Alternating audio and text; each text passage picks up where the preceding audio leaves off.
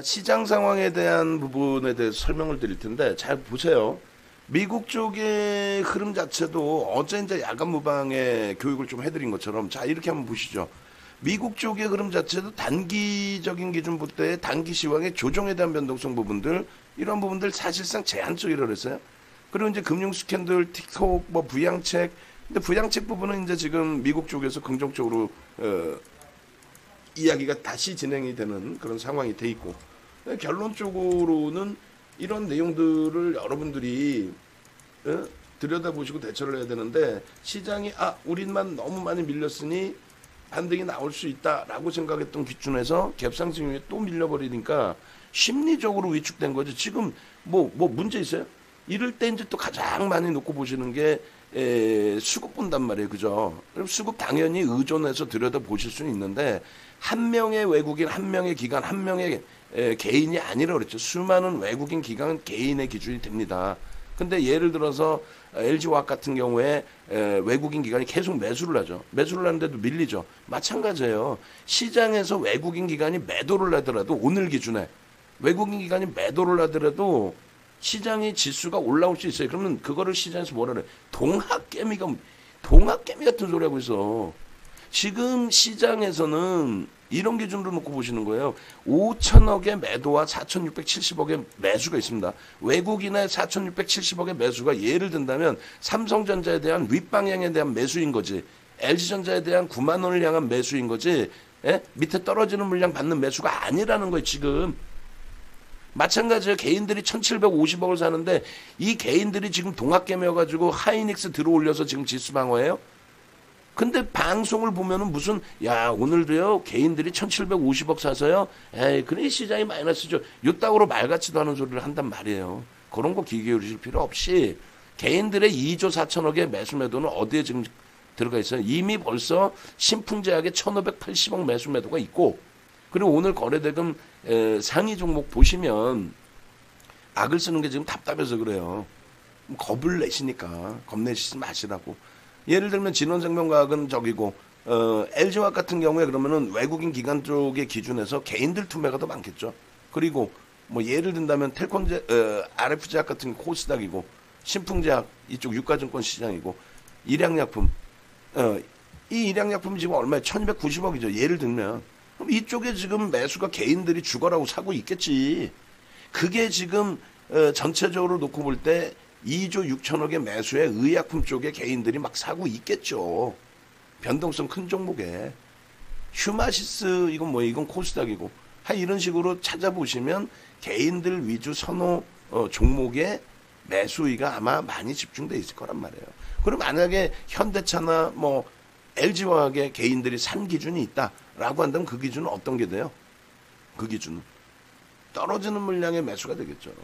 지수의 연동폭을 가지고 가는 개인들의 수급 범위의 흐름은 아닌 겁니다. 결론적으로 현재 시장에 있어서 개인 수급이라든가 뭐 외국인 수급 다 들여다보실 수 있겠습니다만 뭐 어제 기준에 기관들이 7,700억 매도를 해서 빠졌다 전혀 틀린 말은 아니에요. 다만 외국인과 외국인들 140억 분이 매도를 안 했나요 어제? 아니죠. 수조 어, 수천억의 매도와 수천억의 매수 기준에서 순매수 기준이 매도로 잡힌 걸 뿐이죠. 예, 결론적으로 그렇죠. 멘탈 흔들릴 수밖에 없죠. 근데 에, 가장 중요한 이유 중에 하나는 심리적인 면의 기준은 니케이 쪽의 0.6%의 약세 부분 이틀 연속 휴장 이후에 형성돼 있는 기준 그리고 어, 그 부분이 이제 국내 증시에도 이제 심리적인 영향을 일부 주고 어, 0.54%의 국내 증시 눌림 퍼센테이지로 보면 또 별거 아닌데 어찌됐건 12포인트 이상 눌리다 보니까 버거운 흐름 거기에 삼성전자와 하이닉스는 그나마 보합이에요. 그러니까 여기는 안 빠지는데 다른 쪽이 그만큼 빠지고 있다는 거는 변동성이 커져 있다는 거죠. 다른 쪽 업종분들이. 그 부분 염두에 두시고 그리고 또한 가지는 에, LG화학 같은 경우 아까 이제 말씀드린 애기 제비 감축유형이라는 에, 캔들 패턴의 기준에 갭 상승 이후에 눌림목의 흐름에 있어서 대표적인 속임수형 패턴인데 오늘 기준에 그 테슬라 쪽 관련된 2차 전지 관련된 에, 종목군들의 변동이 좀 커져 있어요. SDI도 그렇고 음, LG화학도 그렇고 거기에 이제 연동돼 있는 폭으로 해석을 해도 크게 무리는 없을 것 같습니다. 선물 쪽의 기준도 어 뭐 외국인이 매도를 해서 시장이 좀 밀리나요? 어, 그런 개념이 아니죠. 외국인들 어때? 5만 6천 계약이에요. 기타 법인 쪽의 핵심 물량 이러한 부분들을 시장 조종자로서의 에, 외국인 쪽에서의 LP 역할 이런 부분으로 해석하는 게 맞죠. 예, 결론적으로 시장 어, 지금 시장 상황 심리적으로 방금 말씀하신 것처럼 멘탈 붕괴됩니다. 예? 야 이거 뭐야 또 밀려 왜 밀려 미국장 올랐는데 예?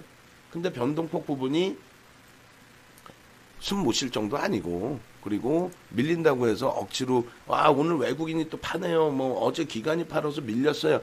말 같지도 않은 그렇게 단순한 게 아니라는 것 좀 제발 어, 염두에 두시고 그런 흐름의 기준이 아닌 어떤 걸로 기준을 놓고 본다고요? 어, 전체적인 추이 글로벌 시장에서의 추이 예, 또 국내 증시에서의 추이 이게 예, 뭐말 그대로 대세 하락의 기준이 될 거냐 뭐 추가적으로 밀려서 이게 끝내주기에 밀린대요 저기 밑에까지 내려갈 거래요 막연한 어, 그런 해석하기보다는 음, 대형주 기준에서의 예, 흐름을 다시 한번 차분하게 생각해 보자. 주도주 기준에서. 자, 일단 IT에서, 야, IT가 이게 더 밀릴 자리야, 고고. 그 다음에 두 번째 기준에서는, 어, 비중이 이제 가장 높은 쪽부터 쭉 봐야죠. IT. 그 다음에 이제 한진칼. 어, 그 다음 범위가 이제 자동차에 현대차. 그 다음 넷마블. 어제 자동차 밀리니까 뭐예요? 19만 1,500원 52주 신고가 5년 7년 만에 고점 뚫고 올라갔는데 그 고점 뚫고 올라간 가운데서 지금 어제 오늘 눌린 폭이 니콜라 때문이에요. 오늘 니콜라 반등했는데 어제 니콜라 얘기 나왔죠. 밀리니까. 그다음에 이제 넷마블 쪽도 지금 많이 버겁습니다만 넷마블도 뭐 현재 기준에서는 그렇게 음, 패닉 상태에 빠져들 상황 아니죠. 잡 잡아내기에는 비중이 우리가 꽉 차 있는 거고 그럼 돌려질 때 이제 신규 편입 기준에 꼬리를 얼마큼 다느냐 수급 강도 얼마큼 되느냐 그 기준만 잡으면 되죠. 그죠? 그 다음 범위 30% 비중이 뭐예요? LG화학 이번에 꽉 채웠죠. 그럼 LG화학이 30% 갖고 있는 게 업종이 자동차, 넷마블, 그 다음에 LG화학뿐이 없어요. 그 다음에 이제 의약품인데 의약품이 원체 수익을 지금 뭐 솔직히 잘 내고 있잖아요. 그럼 이제 화학 부분인데 SDI하고 이제 LG화학, 이노텍은요. 이노텍도 최근에 뭐 어마어마하게 밀려 있었죠. 2차 그러니까 전지 관련된 에, 배터리 관련된 내용에 심리적인 영향을 주는 것 같은데 아까 이제 보여드린 애기제비 감축기형의 기준 음? 그 기준에서 이 부분 간단하게 해석하면 이거예요. 뭐냐면 어, 뭐냐면 이 기준에서 보시면 어, 전략적으로 놓고 보실 때 요걸 보시면 되잖아요.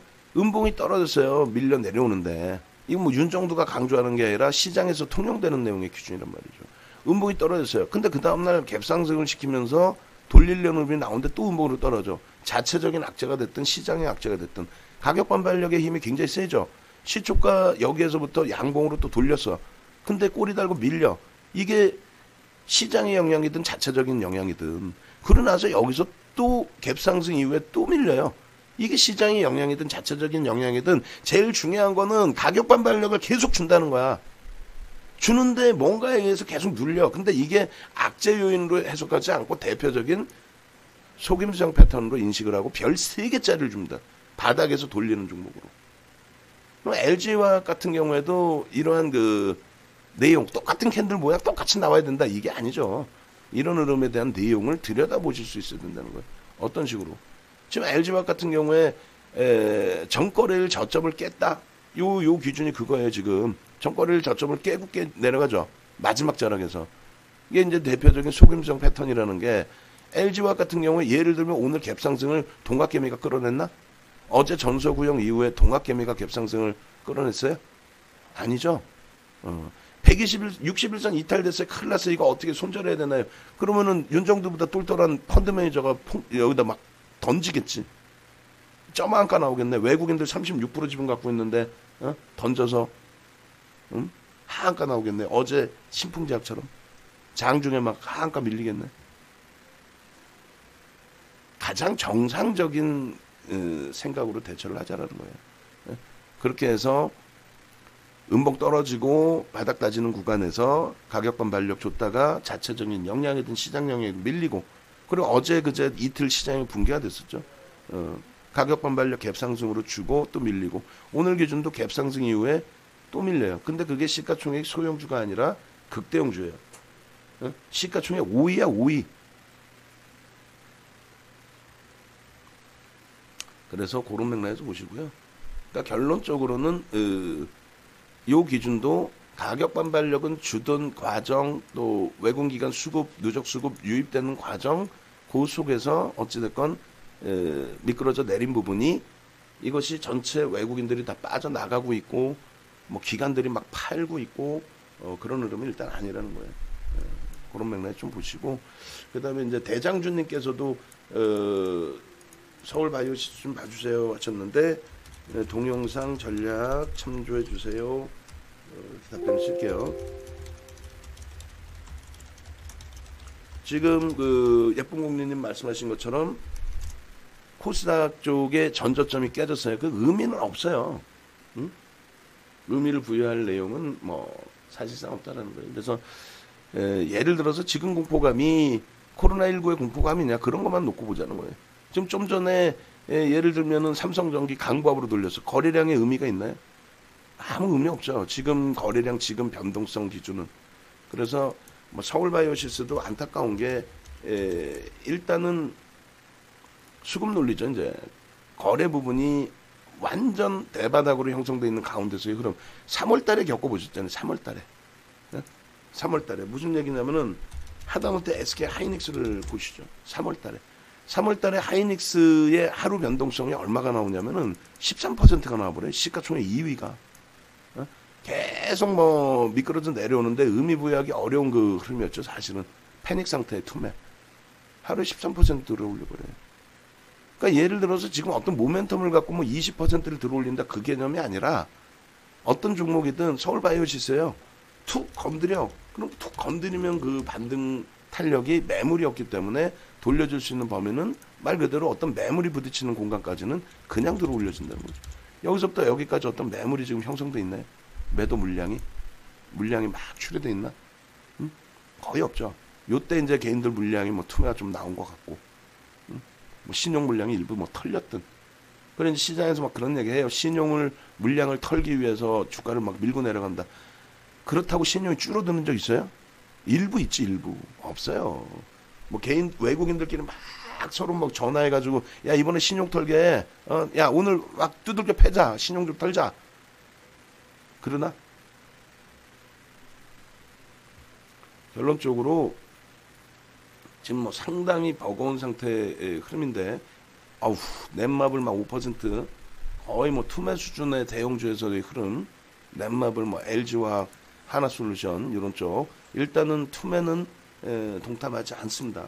문자도 같이 발송을 해서 조금 버거운 조금이 아니라 많이 버거운 그런 상태이긴 합니다만 그나마 이제 어제 의약품에서의 방어력 오늘 기준에서도 일단은 IT에서의 일단 어찌됐건 방어력 뭐 삼성전기가 1%대 이상 밀려 있든 뭐가 됐든 그래서 그러한 부분에 대한 해석 부분을 긍정적으로 잡고 그나마 이제 신풍제약 어제 들어간 신풍제약도 지금 현재로서는 방어력 어, 그래서 일단은 몇몇 종목에서 손실률이 굉장히 크지만 몇몇 종목에서는 여전히 수익률이에요. 차익 실현 안 했을 뿐이지. 예? 넷마블 마찬가지예요. 15만 원 평균 단가 가장 많아요 방에서. 어, 그래서 버겁지만 투매 금지로 문자를 발송합니다. 투매 금지 동영상 전략 참조.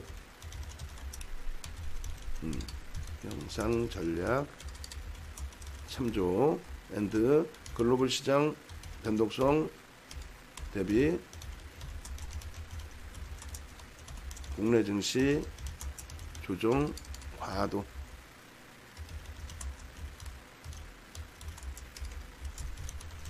이렇게 해서 일단은 예, 문자를 발송을 할 테니까 굳이 여기서 투매하고 아 여기서 투매하고 현금 가져가면 뭐 할 거예요 여기서? 시장이 뭐 완전 붕괴되는 상황이다. 이거 빨리 정리해서 뭐 어? 미국으로 이민 가야 된다. 우리나라 이 뭐 난리 났다. 뭐 전쟁 나요? 음, 힘겹지만 버겁지만 예, 오장 한번 들여다 보자고요 그 지금 제가 생각할 때도 오전장에 뭐 이렇게 밀고 내려올 어, 이유는 없거든요. 음. 전체적으로 이제 다 같이 시장 빠지면 다 깨집니다. 몇몇 종목 이렇게 움직이는 거 이거 가지고 우리가 여기서 수익 좀 낼 수 있어요? 안 되죠. 예. 그래서 일단은 몇몇 종목 움직이는 거에 대해서 기준을 잡지 말고 전체 시장은 에, 전체가 강도 있게 움직임을 가져가야 아, 반등이 나온다. 그러니까 쓸데없이 여러분들 말고요. 외부에 있는 뭐 전문가들 나부랭이들이 쓸데없이 뭐 아 이거 시장 조정받고요. 그러면서 지네들 추천 종목은 나와. 뭔 말 같지도 않은 소리야. 예. 그리고 어 뭐 이 종목 팔아야 되고요. 이 업종은 안 좋아해. 그게 업종 대표주에 대해서 그렇게 평가한다는 자체는 그거는 굉장한 무리수가 있는 겁니다.